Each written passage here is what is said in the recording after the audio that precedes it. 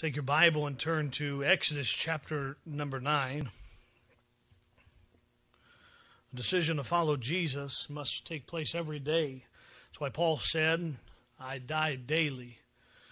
The cross that must be bared must be bared daily. For the moment you lay it down, you'll find yourselves wandering back into the world. You'll find yourselves drifting away from God. And so you have to decide to follow after Jesus. Exodus chapter 9, we continue on the study through Exodus as the Lord allows us.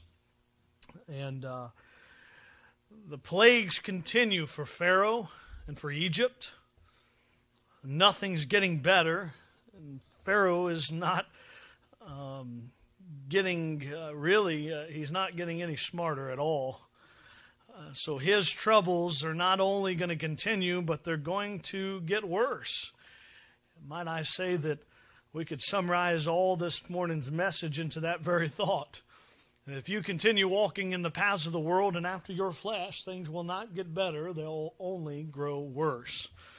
But in Exodus chapter uh, number 9, let me read to you several verses, uh, beginning of verse 29. And Moses said unto him, As I, as soon as I am gone out of the city, I will spread abroad my hands unto the Lord, and the thunder shall cease.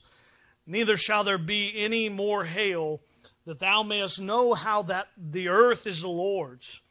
But as for thee and thy servants, I know that ye will not yet fear the Lord God. And the flax and the barley were smitten, for the barley was in the ear, and the flax was bolled. But the wheat and the rye were not smitten, for they were not grown up. And Moses went out of the city from Pharaoh and spread abroad his hands unto the Lord, excuse me, and